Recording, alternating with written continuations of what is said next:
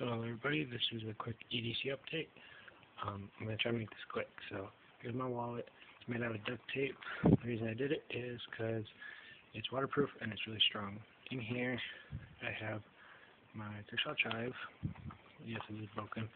Need to get it fixed. But, so there's that. Um, here is my flashlight. It is all Coleman pretty good LED. Um, there's that. This, I can't find my other Leatherman, so this is what I've been using lately. But it works pretty good, nice and small. It folds up, um, works really well. And it's got a carabiner clip here. This is sometimes on me, not always. Um, but it's my little grenade holder. Um, this is my primary one um, Marlin.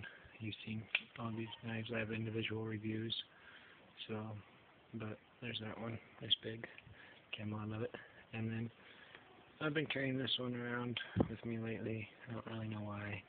I'm just kind of nice. It's big, so I've been carrying it around with me a lot lately. Um, so yeah. Um, and then like, here's the case for the flashlight. This goes on my like right hip, wallet, back right pocket. This one um, depends what pants I'm wearing or whatever, but usually somewhere on my right side, right front pocket, and somewhere on my left on my left pockets. So it's my EDC update. Any questions? Just let me know, and or comment or whatever. So thanks for watching.